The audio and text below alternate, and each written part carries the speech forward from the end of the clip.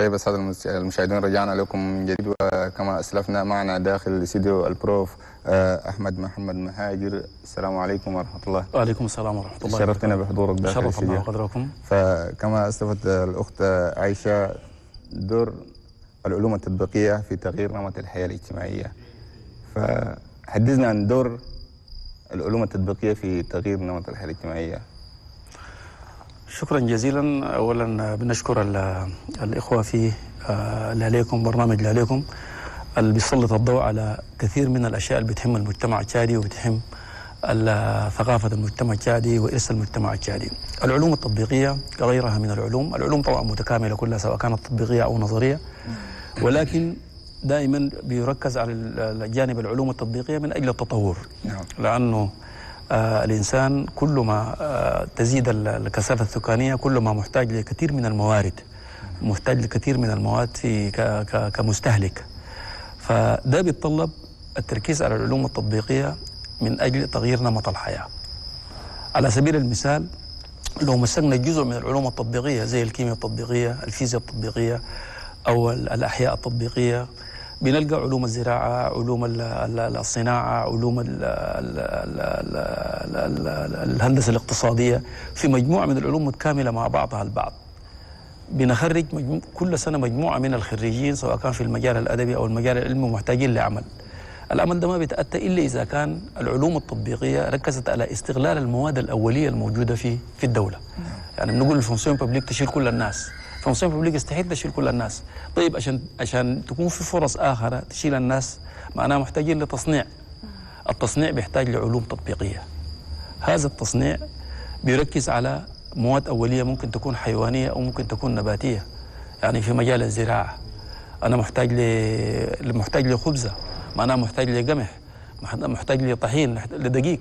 الدقيق ده عبارة عن يعني مادة واحدة من ال من ال من ال النباتات هي عبارة عن القمح. ممكن نزرعها في لاكيات ممكن نزرعها في سلامات ممكن نزرعها في كثير من الأمكان الأماكن زي ما أوكرانيا حاليا ده توقفت. أنا ممكن نكون بديل. نعم. دي بتطلب وجود طاقة. والطاقة من الإشكاليات الكبيرة اللي بنعاني منها في تشاد. لأن الطاقة الناس بيعتبروها ليكس ولكن الطاقة شيء أساسي بالنسبة للحياة والتطور. لولا الطاقة لو ما كنا في شغالين في هذه ال- ال- ال- القاعة. نعم. لولا الطاقة لما لما لما كان المستشفيات شغالة. الطاقة هي عبارة عن وسيلة بتحرك كل شيء. هي الموتير اللي بتحرك الحياة حقت الإنسان في العصر الحالي. معناته الطاقة هي أث- ال- الأول ال- اللي هي الثابت أول كالأساس في ال- هي الثابت الأول في التطور لأنه لولا الطاقه أنا ممكن يكون عندي قمح لكن ممكن ما نعمل طحين ممكن نصدر مادة خام خسران. نعم. عندي بهايم ممكن نصدرها خام أنا خسران. يعني كمية من الجلود سنويا بترحل إلى نيجيريا كمية من الحديد سنويا بيرحل إلى دول أخرى ليه نحن ما مسوي هنا ده؟ نعم. نحن مستهلكين للحديد، مستهلكين للأخشاب، مستهلكين للبن، مستهلكين للعصائر، وإن المواد الأولية كلها موجودة هنا ده. العلوم التطبيقية بتشمل كل الأشياء اللي ذكرناها دي.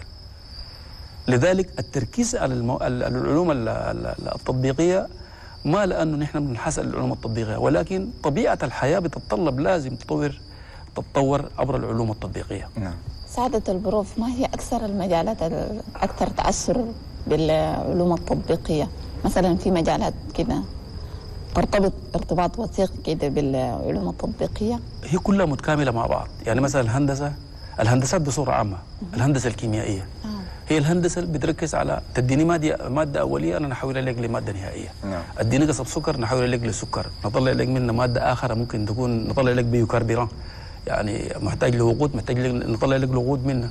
أديني مثلا بقر نطلع لك جلود ممكن تستخدم في صناعات كثيرة، أديني قمح نطلع لك منه طحين نطلع لك مواد أخرى. اديني مواد اوليه وأنا احولها لك ل- في مجموعة من ال من ال من الخطوات بنسميها بيسموها ال process engineering. ال process engineering دي دي هي الخطوات من خطوة لخطوة لخطوة لحد نديك ناتج نهائي. الخطوات دي كلها بتطلب بتطلب عمال.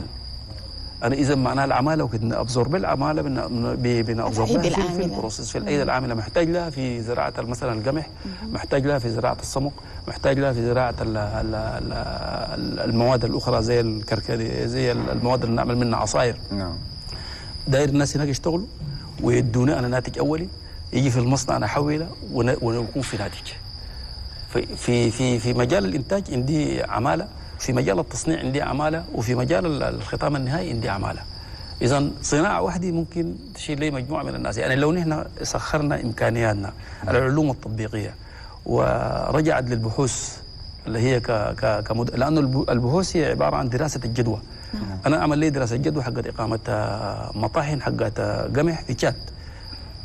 في زراعيين بيمشوا بيدرسوا ال- ال- المناطق الزراعية كمية الإنتاج أنا المحتاج ليها. بعد ذاك ال- ال- التحويل المصنع. أنا من من من من ألف لهدي زيت محتاج لشنو في المصنع. ده المهندسين بيعملوها. طيب الطاقة المحتاج لها كم؟ لازم تتوفر لي. إذا توفرت دي كلها المصنع بيشتغل. يعني أد- نعمل حق اعتبارات في لكل سنتين ال- بعد ذاك تكون في تصنيع. مم. معناته تضع اعتبارات لكل المواد الخطوات. الخطوات. الخطوات. الدراسة حقت الجدوى دراسة الجدوى بتعتمد من المادة الزراعية لحد ما يجوا لي المصنع مثلا بترول. انكد بير طلع لي بترول اديني ليها. أنا بنشيل البترول ده كمادة خام بنعمل منها الاحتياجات اللي بتحتاج لها نديك بنزين نديك نفسة نديك آه، غاز نديك كل شيء. الفضل نعمل آه، مثلا صناعات حقت بتروكيمياء نطلع لك كوشي نطلع كراسي قاعدين فيها نطلع كلها تطلع منها. ولو ملاحظين هسه حاليا الكلام ده حاصل في الجرمايه ولكن ما مضبوط. نعم. في كثير من الإنت- الانتاجات موجودة لكن يمكن الدولة ذاتها تكون ما متريزها طيب آه البروف آه تحدثنا عن قلنا أن الطاقة هي الأهم. نعم. طيب هل تحدثنا عن الطاقة؟ في حقيقه مشكلتنا في الطاقة في طبعا الطاقة في العالم أرخص طاقة هي الطاقة المائية. نعم. وللأسف يبدو لي نحن ال- الطبيعة حقتنا ال- كمية الأنهار الموجودة والارتفاع حقها يعني الأرض مستوية أكثر نعم. لو الأرض مرتفعة في محل وبعد ذاك اتخزنت الموية واتخزنت ل- في ارتفاع عالي السقوط حق الموية من الفوق طبعا دي العلوم التطبيقية. السقوط من الموية من, من الفوق ده سقوطه ده أنا بنعمل تربين تنزل فوق الموية وبيتعمل تحرك وبعد ذاك بنتج بنتج طاقة. نعم. دي أرخص طاقة في العالم. نعم. دي يبدو لي صعبة شوية ممكن ما ما ما تكون بديل. ولكن في الطاقة حقت ال- ال- الرياح. نعم. وفي الطاقة الشمسية. لو مسكنا مناطق الشمال دي لو عملت فيها يعني 2 كيلومتر مربع عملت مثلا طواحين حقت ال- ال- الهواء دي وعملت مجموعة من من ال من ال ال panneau solaire. كمية الطاقة اللي بتجيبها دي كمية ممكن تكون على حسب الحوجة حقتك. كل ما تكتر كمية ال- ال- المراوح لأنه الريح عندنا كثيرة جدا. نعم. كمية المراوح دي كل ما تكون كثيرة معناها أنا عندي طاقة تكسب كثيرة ممكن نكون وطاقة ما بتكلفني كثير يعني. وكذلك الطاقة الشمسية لأنه الحرارة اللي هي اللي بت frapper نا هذه هنا ممكن نستفيد منها دائما. طاقة. نعم. بدل نس- بدل نستخدم الطاقة حقت ال- ال- البترول نعم. طاقة البترول غالية. زي زول عنده قروش في البيت. نحن حتى الشركة زي القروش في البيت. تبي تجيب غازوال وبعدك تشغلها مكلف ما بتقدر. نعم. اذا حتى الدولة ذاتها ما بتقدر. اذا دي ما بديل بالنسبة للتصنيع أنا الطاقة كل ما تكون غالية. معناها الصناعه تكون مكلفة. الناتج اللي بينتج ده بيكون لو قارنت في منافسة بيني وبين إنسان آخر هو بيكون أحسن مني. نعم. ده البروف يجرنا الحديث إلى أن الصناعات المحلية لها دور تلعب في تغيير نمط الحياة الاجتماعية. أكيد. الصناعات المحلية عندها دور كبير جدا جدا. في صناعات هسه حتى الناس بيعملوها ارتيزانال يعني مثلا في صابون نعم. بيعملوه بال- بال- ب- بلدي في عصاير بعملوها بلدي ولكن دي بيكون عندها بقدر ما بتخدم المجتمع ولكن عندها ناتج سلبي من ناحية الصحة. نعم. عدم لانها. لانها لأنها ما ما ما, ما بطريقة علمية. نعم. طريقة الحفظ ما صحيحة. طريقة التصنيع بعض المرات ما فيها مواد ممكن تكون تساعد أنه المادة تقاوم. بالإضافة لده بيجر لأنه الناس بتستخدم بتعبي تعبئة. يعني ممكن تجيب آه، تجيب آه، أنا قزاز من محل آخر وتعبي فوقه نعم. وده بيعمل بيعمل أمراض كثيرة بالنسبة للمجتمع. نعم. إذا دور الدولة في ضبط ال- الإنتاج المحلي كذلك مهم بقدر ما هو بيساعد لأنه في الناس بيل- بيلقوا منه دخل. نعم. ولكن لو بقى على المستوى الدولة توفير طاقة رخيصة ومناسبة وتهيئة الجو للاستثمار في مجال الصناعة ده بيطلع الدولة من من من من من, من آه، كريز كثير بروف نحن ك- كتشاديين البيئة التشادية أيهما آه، أنفع لنا؟ الطاقة بتاع الرياح ولا الطاقة الشمسية؟ كلها الاثنين كلها الاثنين هي كلها الاثنين زي بعض. يعني كلها عبارة عن بدائل نعم. وكلها أحسن وما بتكلفنا كثير التكلفة حقتها البدائية بس. لكن بعد ذاك بتحفظها. طبعا في مهندسين متخصصين في الجانب ده. نعم. كمية ال- ال- ال- ال- ال- المراوح حقت الهواء اللي أنا محتاج لها الزون اللي بنعمل فيها على حسب الحركة حقت الرياح نعم. وكمية البانوسولير أنا اللي بنجيبها من خطها على حسب كمية الطاقة أنا الدائرة. نعم. دي كلها بتتجمع تتجمع دي كلها وبعد ذاك بتكون في وحدة واحدة. أنا عندي كمية من الطاقة تكون موجودة على حسب الاحتياج. نعم. دي أنا ممكن ناخدها في نجيب نحولها للزون الصناعي هنا ده نضمن ان الناس اللي بيشتغلوا في الصناعة دي يكون عندهم طاقة رخيصة ما مكلفة عشان تساعدهم على الإنتاج. بروف ال- العلوم التطبيقية دي ممكن تساهم لنا في فتح فرص عمل للشباب نعم. وجلب المستثمرين. نعم. فدي كلها استفادة ممكن نستفيد من العلوم التطبيقية. كيف أنت برأيك هسه المواطنين ما عندهم دراية بمدى أهمية هذا الوعي ده تقول شنو من هنا؟ والله نصيحتي بالنسبة لل ال- ال- التلاميذ وآباء الطلاب توجيه الطلاب في الجانب العلمي. نعم.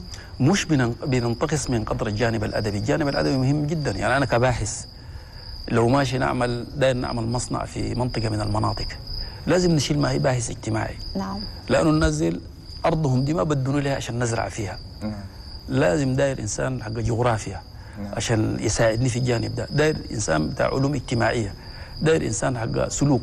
ديل كلهم لازم ننز- ننزل بهم في المنطقة. أنا داير نعمل بها استثمار ويهيئوا لي الجو عشان المواطن يقبلني أنا ويقبل الفكرة حقتي أنا وبعد ذاك يديني أرضه بالمشاركة مع الحكومة.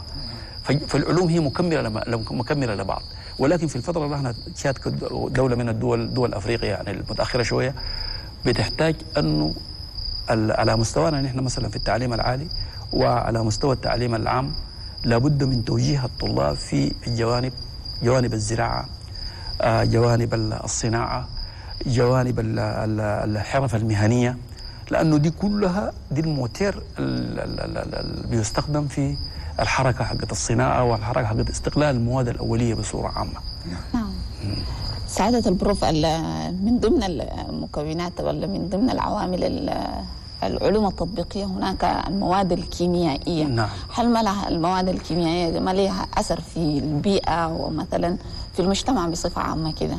مثلا عندنا صناعات ممكن نصنع ممكن يخرج لنا من الصناعات ده المواد الكيميائية ولا يؤثر في المناخ أو البيئة. في أي في أي في أي فكرة صناعية قبال ما تعمل الصناعة بتعمل حل مشكلة الآثار المترتبة على المواد نعم. ال- المواد ال- ال- الغير أساسية.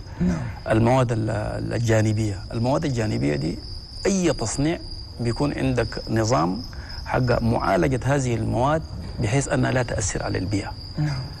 فده لو الشركة ما التزمت بها ممكن الشركة توقف. وده موجود في العالم كله. ولكن بصورة عامة الشيء الوحيد الناس ما قدروا يتحكموا فوقه اللي هو الجانب حق ال- ال- الغازات. الغاز ثاني اكسيد الكربون.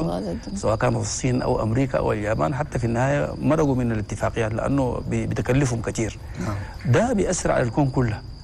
بيأثر على الكون كله بمرور الزمن.